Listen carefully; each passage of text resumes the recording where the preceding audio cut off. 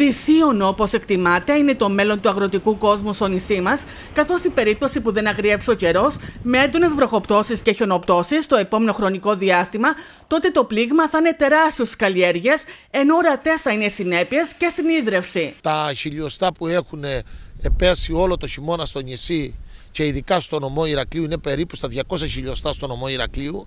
Καταλαβαίνετε ότι με αυτά τα ύψη νερού δεν βγαίνει η χρονιά. Ο, ο υπόλοιπος Ιανουάριο-Φεβρουάριο πρέπει να δώσει βροχές και χιόνια. Η βασική γεώτρηση η οποία ιδρεύεται το χωριό ε, τον προηγούμενο μήνα έβγαλε θολερότητα, κάτι το οποίο σημαίνει ότι έχει φτάσει στα ωριά της. Και η κτηνοτροφία οι απότομε αλλαγέ στο σκηνικό του καιρού προκάλεσαν αυξημένες απώλειες ανεογέννητα, ενώ η παρατεταμένη ξηρασία συνέβαλε στην αύξηση του κόστους παραγωγής. Η μία είναι η ξηρασία που εμπόδισε τη σπορά των κτηνοτροφικών φυτών, τη βλάστηση των βοσκοτόπων και σήμερα οι κτηνοτρόφοι είναι καταδικασμένοι να αγοράζουν με 65 και περισσότερα λεπτά το κιλό το τριφύλι και τα σανά και απότομες αναστροφές με πολύ χαμηλές θερμοκρασίες, γεγονός το οποίο δημιουργεί τρομερά, τρομερό στρες στα ζώα, ειδικά στις μικρές ηλικίες, με αποτέλεσμα να έχουμε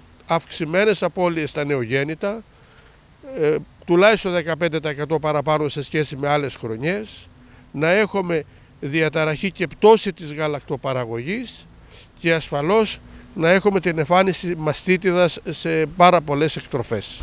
Το διήμερο Κυριακής Δευτέρας δεν καταγράφηκε ούτε ένα χιλιοστό βροχής στην περιοχή της Μεσαράς, ενώ τα ύψη βροχής στα νότια τμήματα του νησιού ήταν περιορισμένα σύμφωνα με το Μετέο. Αντιθέτως, το συνολικό ύψος βροχής ξεπέρασε τα 120 χιλιοστά σε περιοχές των Χανίων, ενώ σε περιοχές του Λασιθίου ξεπέρασε τα 180 χιλιοστά.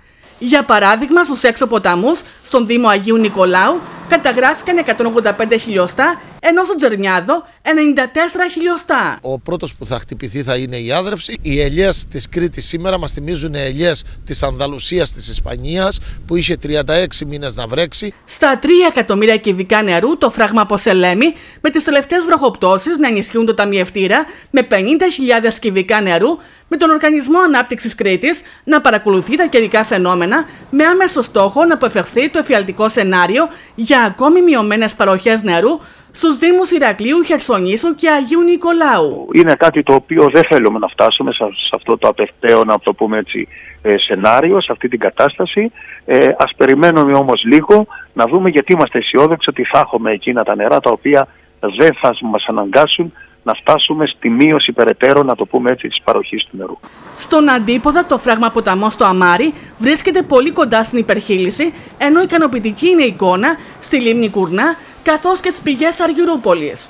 Στο φράγμα ποταμών στο Αμάρι, ε, αυτή τη στιγμή έχουμε πληρότητα 94% από τα 22,3 εκατομμύρια έχουμε μέσα στον ταμιευτήρα 21,2 Είμαστε δηλαδή πολύ κοντά στην υπερχείληση του φράγματος. Και στον Δήμο Μινώα Παιδιάδας εντείνεται η ανησυχία του αγροτικού κόσμου με φόντο τη χαμηλή στάθμη σε λιμνοδεξαμενές και φράγματα, με τον Βασίλη Κεγκέρογλου να επεξεργάζεται σχέδιο για την ενίσχυση των υποδομών άρδευσης, διεκδικώντας παράλληλα χρηματοδότηση για τη δημιουργία του φράγματος Μπαδιά. Η ξηρασία φέρνει λειψιδρία και αυτό έχει να κάνει βεβαίως και με το πόσιμο νερό, αλλά και το νερό άρδευσης θα υπάρξει η μεγαλύτερη δυνατή ε, προσπάθεια εκ των πραγμάτων για την ε, εξοικονόμηση του βασικού αυτού αγαθού προκειμένου να υπάρξει μια δίκαιη κατανομή